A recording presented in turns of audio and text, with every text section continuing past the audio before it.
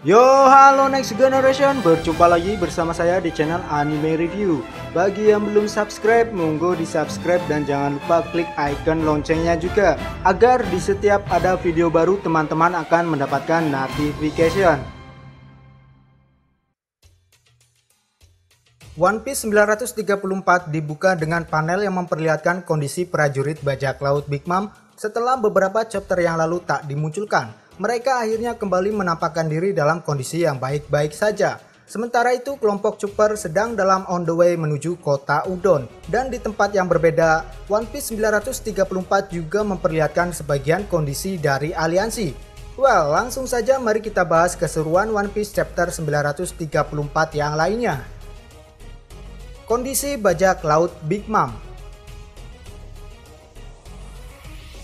Setelah sebelumnya mereka mengalami nasib buruk, akhirnya kali ini Perospero dan yang lain diperlihatkan dalam kondisi yang baik. Ketika King menjunggalkan kapal mereka, beruntung sekali Queen Mama Canter tak ikut terbalik. Itulah yang membuat kondisi mereka tak mengalami hal yang sama seperti Big Mom. Namun sayangnya, jika Big Mom sudah berhasil masuk ke negeri Wano, mereka masih terdampar di perairan perbatasan Wano. Mereka belum bisa masuk lebih dalam lagi karena khawatir apabila King masih melakukan patroli, maka kejadian serupa bisa saja terulang kembali. Nah, One Piece 934 juga mempertegas kembali masa lalu Big Mom dan Kaido, di mana mereka berdua memang benar-benar pernah berada dalam satu kru yang sama. Buntut dari membicarakan hal tersebut justru membuat Mong Dior mengeluarkan spekulasi yang buruk. Hal ini kemudian ditanggapi oleh Perospero selaku kakak tertua dia memberikan sebuah pernyataan yang cukup menarik. Ya, ia beranggapan jika Big Mom terbunuh, maka nama kelompok bajak laut harus diubah menggunakan namanya. Praktis hal tersebut mendapat tanggapan yang beragam. Daifuku bahkan menganggap kata Kurilah yang sepantasnya bisa menggantikan posisi Big Mom sebagai seorang kapten. Ini artinya posisi Katakuri masih mempunyai pengaruh yang besar dalam kekaisaran Big Mom. Mungkin saja dia masih tetap menjabat sebagai Sweet Commander sekaligus tangan kanan Big Mom. Ya, tak ada perubahan nama dalam posisi komandan divisi dari kelompok bajak laut Big Mom. Nah, bisa dibayangkan seandainya Big Mom memang benar-benar berhasil dikalahkan, maka mungkin saja bisa terjadi perpecahan dan perang saudara di antara anak-anak Big Mom untuk merebut posisi teratas.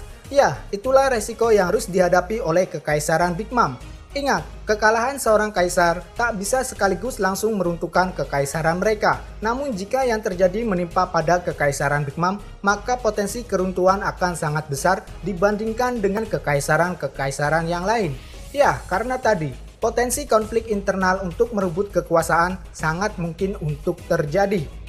Well, kembali ke situasi saat ini. Perdebatan kecil yang terjadi pada mereka untungnya dapat diredam oleh kedewasaan seorang semuti. Dia tak segan untuk membentak mereka. Jika sebagian berspekulasi negatif terhadap nasib Big Mom, tapi tidak untuk semuti. Ia bahkan percaya bahwa Big Mom akan kembali lagi. Pemikiran-pemikiran negatif seperti itulah yang menurutnya tak harus diperdebatkan dalam menghadapi situasi yang buruk. Ya, pada akhirnya sifat kedewasaan semuti berhasil menenangkan mereka. Saat ini yang harus mereka pikirkan adalah bagaimana caranya untuk dapat segera memasuki wilayah Wano dan menemukan kembali Big Mom. Nah, ada sebuah kondisi yang dapat membuat mereka bisa mendarat di negeri Wano. Ya, mereka harus memastikan King tak sedang melakukan patroli. Kita tahu bahwa jalan masuk menuju Wano sejauh ini hanya ada satu, yaitu air terjun. Artinya selama King masih berjaga di sekitar area tersebut, maka Queen Mama Canter tak akan bisa menaiki air terjun. Ya, mau tidak mau mereka harus sabar menunggu sampai King disibukkan oleh peristiwa lain yang terjadi di Wano. Mungkin saja mereka akan terbantu ketika King bergerak ke wilayah lain untuk menghentikan sebuah kekacauan. Atau jika tidak, salah satu di antara mereka harus membuat sebuah provokasi di mana nantinya King mengarahkan perhatiannya pada seorang tersebut dan kemudian Queen Mama Canter dapat menaiki air terjun secara diam-diam. Sederhananya harus ada seseorang yang mau menjadi pengalih perhatian King. Itulah skenario jika air terjun menjadi pintu masuk satu-satunya ke negeri Wano. Namun kita masih belum tahu apakah masih ada pintu lain. Ya, kita nantikan saja kelanjutannya akan seperti apa. Big Mom menuju kota Udon Dari perairan perbatasan kita beralih ke situasi yang lain, di mana kelompok Cuper sedang dalam perjalanan menuju kota Udon. Namun sebelum itu, ada sebuah perbincangan menarik antara Otama dan Tengyuyama. Selaku master daripada Otama, Tengyuyama sangat overprotective terhadapnya. Dia menganggap perjalanan mereka akan sangat berbahaya dan menyuruh Otama untuk segera kembali ke desa Amigasa. Namun apa daya Tengyuyama tak bisa berbuat apa-apa. Mereka memilih untuk melanjutkan perjalanannya. Nah, dari perbincangan tersebut, ada sesuatu yang ingin dijelaskan Tengyuyama kepada Otama. Apakah hal tersebut mengenai pribadi Otama atau mungkin hal yang lainnya? Ya, kita masih belum tahu. Namun saya kira sesuatu tersebut bersifat sangat penting. Mungkin saja nanti ada kejutan menarik lainnya dari Oda. Well, kita tunggu saja akan seperti apa. Selanjutnya beralih ke scan berikutnya, di mana kelompok Super sedang menunggangi seekor buaya raksasa sebagai kendaraan mereka menuju kota Udon. Perjalanan yang masih sangat panjang, saat ini mereka masih berada di wilayah Kuri. Nah, yang menarik dari scan tersebut adalah cara intimidasi Big Mom sehingga membuat buaya tersebut mau menuruti perintahnya. Ya, menurut Super, Big Mom memukuli buaya itu sebelum dijadikan sebuah kendaraan. Dari sini kita tahu, meskipun dalam kondisi amnesia, Big Mom masih tetap berbahaya. Intimidasi-intimidasi semacam itu justru akan berpotensi membuat sebuah kekacauan apabila terjadi pada seorang manusia. Namun sisi baiknya, Big Mom masih bisa mengontrol emosi berlebihannya.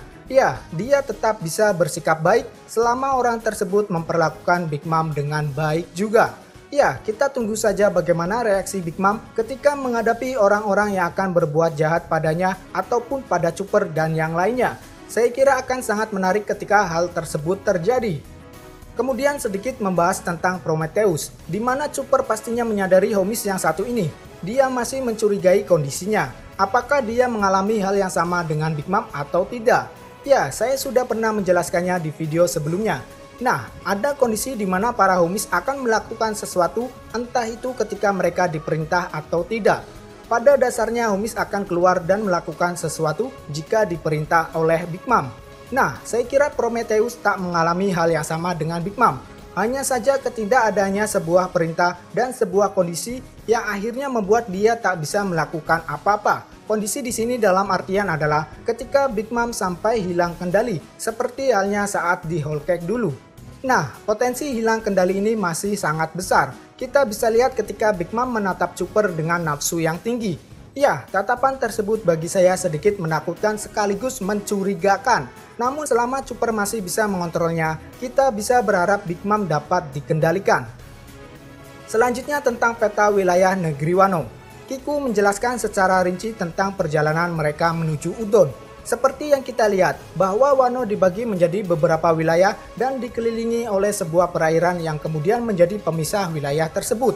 Nah, saya kira muara daripada air terjun adalah perairan yang mengelilingi Wano. Kita tak perlu terkejut, karena sejatinya wilayah dunia baru memang dikelilingi oleh anomali cuaca yang beragam. Ya, begitupun yang terjadi pada Wano. Ada indikasi Zoro berasal dari Wano, Masih dalam scan yang sama, perjalanan menuju wilayah Udon. Nah, dalam perjalanan tersebut, Momonosuke tak berhenti untuk tetap melakukan latihan. Yang menarik dari latihan tersebut adalah sikap ketika Momonosuke mengayunkan pedang dan kemudian meneriakkan sebuah ucapan. Kiku yang menyadari hal tersebut lalu menanyakan pada Momo di mana dia mempelajari hal tersebut. Ya, Momo kemudian menjawabnya bahwa dia mendapatkan pelatihan tersebut dari Zoro. Menurut Kiku, kata tersebut dinilai tak pantas untuk diucapkan oleh Momonosuke. Entahlah apa sebenarnya makna dari kata tersebut versi Kiku. Namun versi Zoro, kata itu dijadikan sebagai cara untuk menguatkan hati saat keberanian sedang goyah. Nah, dialek itu secara kebetulan pernah diucapkan oleh orang-orang Kuri zaman dahulu. Inilah yang kemudian mengarah pada indikasi adanya keterikatan Zoro dengan Wano, khususnya wilayah Kuri. Entah apakah nenek moyang Zoro berasal dari Kuri. Ya, kita nantikan saja kelanjutannya akan seperti apa.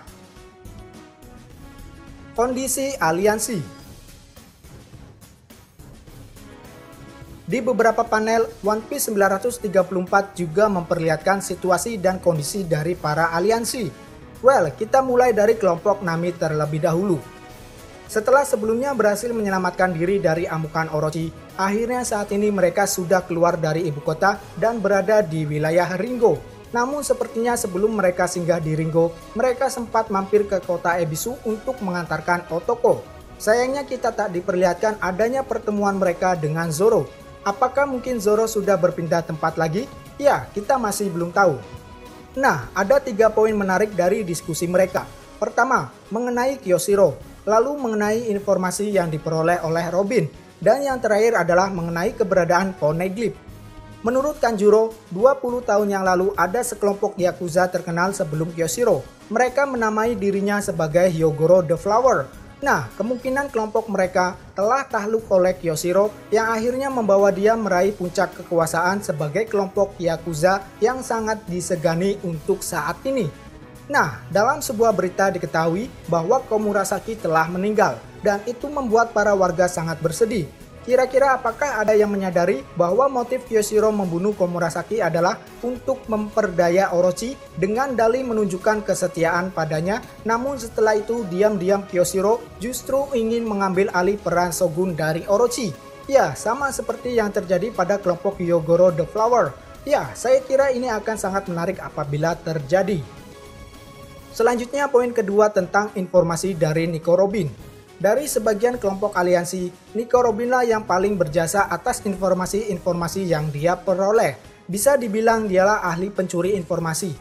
Secara detail, Robin menuturkan apa saja yang berhasil dia dapatkan, mulai dari kehidupan Orochi sampai pada persiapan mereka menjamu Kaido di Onigashima. Informasi inilah yang saya kira harus segera ditindaklanjuti oleh Kiemon guna mempersiapkan rencana selanjutnya. Kemudian tentang poneglyph, di mana lagi-lagi Brook berhasil menemukan keberadaan batu tersebut. Tapi sayangnya batu itu bukanlah Rod Poneglyph, namun jenis Poneglyph yang lainnya. Dan kemungkinan besar Rod Poneglyph memang berada dalam pengawasan Kaido di Onigashima. Well, beralih ke scan berikutnya di mana kelompok Sanji sudah berada di Ebisu. Dan lagi-lagi kita masih belum diperlihatkan Zoro yang sebelumnya berada di kota tersebut. Sepertinya akan ada sedikit kejutan yang akan dibuat oleh Oda tentang Zoro. Dan lagi mengenai pertarungan Sanji melawan Pechuan, sepertinya terhenti di tengah jalan. Ya, saya kira tak ada pemenang di antara mereka. Nah, yang menarik dari perbincangan mereka adalah tentang kondisi Kid. Dikatakan dalam sebuah berita, menurut Lau, Kid sudah berhasil kabur. Jika memang benar, sepertinya Kid akan bergerak sendiri terlebih dahulu.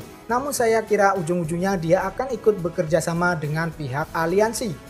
Nah, lalu bagaimana dengan kondisi Luffy?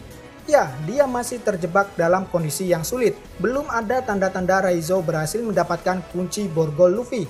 Hal ini akan semakin diperburuk dengan datangnya Queen ke dalam tahanan. Mungkin saja kehadiran Queen di sana sebagai tindak lanjut atas keberhasilan Kid kabur, sehingga menuntut adanya perkuatan dalam menjaga situasi di dalam tahanan.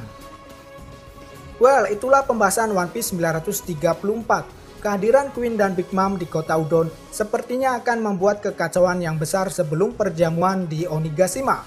Baiklah jika ada kesalahan mohon dikoreksi dan apabila teman-teman ingin menambahkan silakan tuangkan opininya di kolom komentar. Mari berdiskusi. Cheers!